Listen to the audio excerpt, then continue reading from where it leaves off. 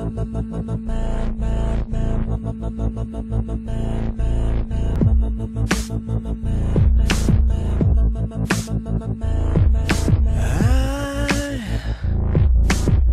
can't get these memories out of my mind.